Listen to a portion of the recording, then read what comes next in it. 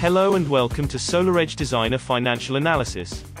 With this great tool you will have the ability to accurately forecast the system costs and future financial rewards from which customers can expect to benefit, after installing SolarEdge PV systems and products. In this video you will learn how to use the financial analysis and get the most out of it. Designer's financial analysis allows you to accurately predict the SolarEdge PV system benefits, relying on five different aspects that will be covered in this video. Financial parameters, energy consumption, incentives, system pricing, and finally, utility rates. In the financial parameters, you can add any external parameter that may affect a PV system's profitability or savings. To get an explanation on each parameter, you can hover with your mouse on the icon next to it. System lifetime is the duration for which the simulation will be applied to. Operations and maintenance costs are the amount paid throughout the years on inspections, repairs and clean-up.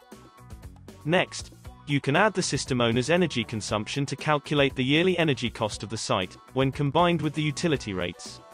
If you've already added this information in the Project Info tab, it will be available here. If you have the detailed consumption data, you can upload the file, or use one of the consumption profiles based on the system owner's electricity usage patterns. In the Incentives section, you can add any incentive that can be applied to the site. If the incentive is not displayed in the options list, you can add a custom incentive. For more information on how to do this, tap the Help button. System pricing can be set to one of three options to meet your project financing needs, fixed price, price per watt, or add pricing per BOM which you can fill in yourself. The BOM is presented as well and will now only be editable through the Financial Analysis tab. The last part is the energy cost where you can select the utility provider and the relevant rate. If you can't find your rate in the drop-down list, you can create a custom rate. More information on adding custom utility rates can be found in the Help button. Once your financial analysis parameters are all set, you're ready to generate the summary report, presenting all calculations. Please note, a financial report will only be properly generated if you input the consumption, system price and utility rate.